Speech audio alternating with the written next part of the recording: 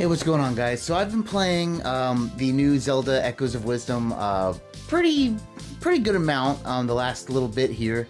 Um, I did a video about my hype for it, and uh, I think it has really met my expectations. I don't know about you, but it's like a really kind of a cool combination of the classic Zelda formula and the Breath of the Wild more open exploring formula and the echo system is fantastic. So I actually wanted to go over some cool tricks and echoes that you can get really early game. I'm not gonna have like anything spoilery, like no bosses or anything. I'm just gonna be showing echoes you can get like right after the intro dungeon. Basically, if you start the game, you go in, there's a little intro kind of thing, shows you how to play, and then you can just kind of go explore. And honestly, you can explore most of the map, especially with some of these weird echoes uh, and some of these weird tricks. So I just want to show you some of these cool things and uh, and let and you know maybe learn something. Um, and we can see what you know, kind of the the weird stuff that it's like it's intended, but like not specifically told to you. So without further ado, let's jump into it. So the first thing I want to talk about is the bed. Everyone knows the bed. The bed is one of the first things you get. You can make ladders, it's Stairway to Heaven, and you can also heal yourself with the bed. Now, one thing, and this is kind of a minor thing, there are several different versions of the bed that heal you for more and more amounts of hearts in the game. Um, but there's one thing that can speed up the process just a little bit. Here, let me show you what I mean right here. So as you can see, the bed itself heals you pretty slowly. I mean, it's not the fastest thing. It's, you know, one tick every couple of seconds. But if you press A every time your healing happens, it and then and then rest again, it kind of resets it. I'm not saying it's much faster, but it is a little faster, especially when you get the later beds that um, heal more basically just keep pressing A, uh, you know, heal, jump up, go back down, and it just it saves a little bit of time. And you know, it's a little thing that I don't think many people know about. Now, the next thing I want to show you is actually, I didn't think this actually was an enemy, um, and and definitely didn't think it was an echo. But it's like this platform called Plat Boom. Um, very, very useful. And like I said, I'm still early game, so I can only make one of these at a time. I'm sure later on you'll be able to make more, maybe get even higher. But this is a great way for vertical um, height. Uh, gaining, especially in like the kind of 2D sections, and I'm going to show you where to get it.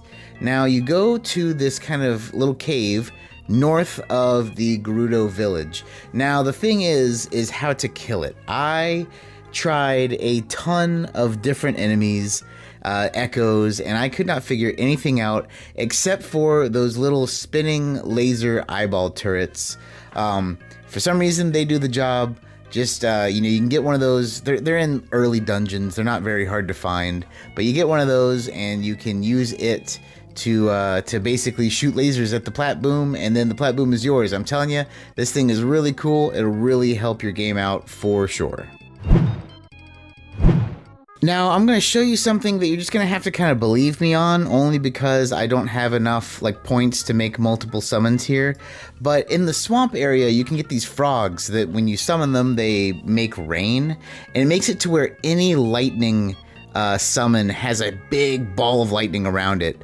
Um, it just kind of stinks because, like I said, I don't have enough points because I'm so early in the game where I can't do it myself. But it's still a neat thing. Wanted to point out to you guys.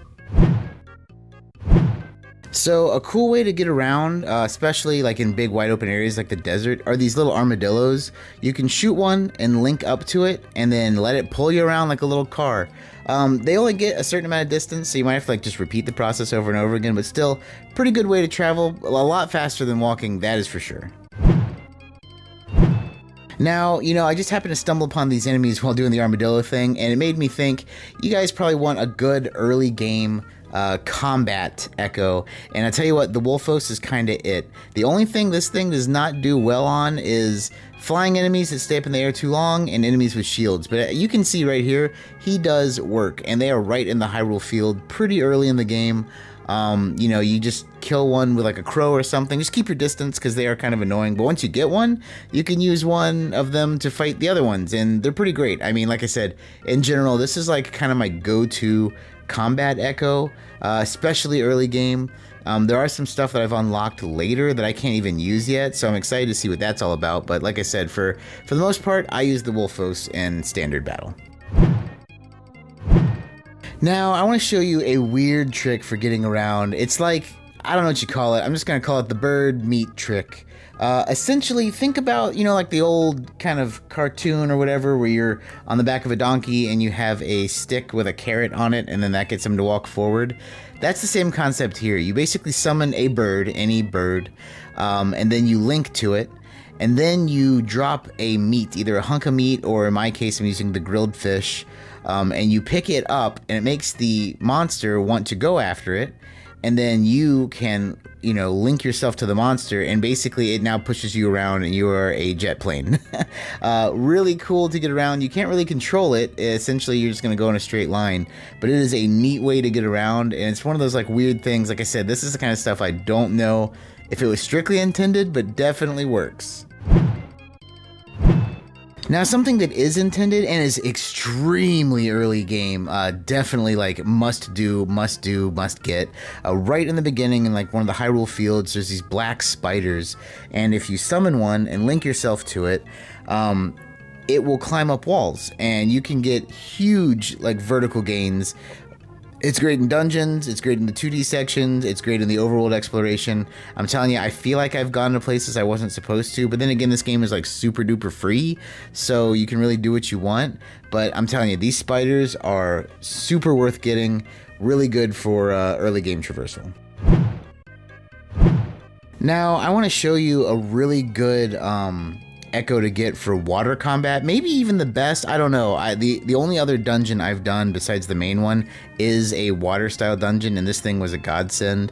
But essentially, it's this shark. Now, if you look at your map, it's like over in this area in the big like Zelda uh, Zelda Zora Lake. That's uh, it looks like a ship. You go over there. I mean, just kind of sneak your way over there and try to get on the ship without dying using beds. But then once you're up there, just drop whatever kind of enemy does damage as a drop in. I'm using these urchins. Just keep dropping the urchins, a thousand of them. Eventually, this thing will die.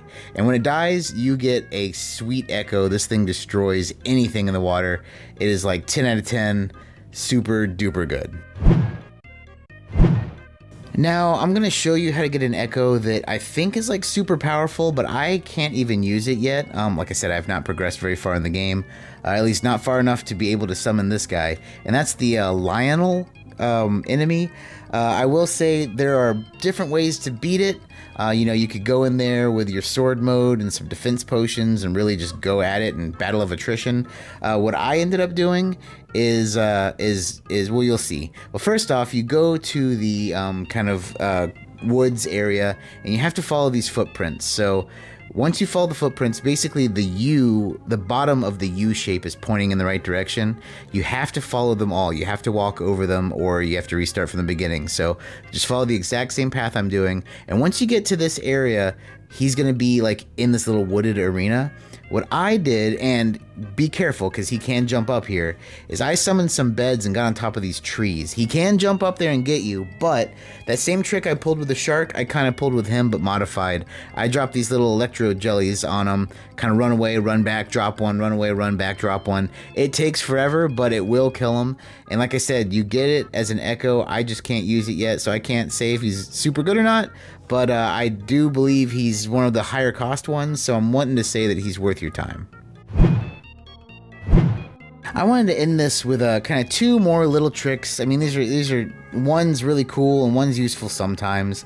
The one that's really cool is the crow enemies that really don't seem like they're worth that much, especially because they're better bird enemies. The crows have a special ability that they don't really outright say, and that is when a crow kills an enemy, it blows up into rupees and then you can get a lot of money. So I'm not saying this is the best way to farm money. There are way better ways to farm money in this game. But if you want some rupees and there's a bunch of weak enemies around, just have some crows on you, summon them, they'll explode into rupees. It's pretty sweet. Uh, and then one other thing I really wanted to kind of show, um, especially in some of the more wooded or grassy areas or dungeons, the little fire guys spread fire big time. There's several enemies that cause fire. Uh, one of the ones you get super early, these little fire slimes. But you set one down and it will just make a wildfire, destroying everything and spreading killing anything in the grass. Pretty good, but you gotta be careful because you yourself will also catch fire. But these are just some cool tricks. Um, that I have found early game. I'm talking like early, early game. Like I said, I've beaten one other dungeon besides the intro dungeon. But uh, yeah, let me know what you guys think because there's some there's some really cool stuff in this game, and I know it's only gonna get cooler. So that's just a handful of weird little Zelda tricks. Um, you know, if you guys have some cool ones, put them in the comments down below. I'd really like to kind of learn more tricks on the game. I, like I said, I'm super early. I've beaten, besides the intro dungeon, I've beaten one other dungeon. That's it. So I, I, I don't think I'm very far in the game. Uh, but I'm really looking forward to keeping on going. So, like I said, if you guys have any cool, weird little tricks like this, let me know uh, in the comments down below. And, uh, you know, let's explore Zelda together. And that's going to do it for us today, guys. Once again, thank you so much for watching. Thank you so much for subscribing. If you haven't, please do. It'd be phenomenal. But as always, my friends, take it easy.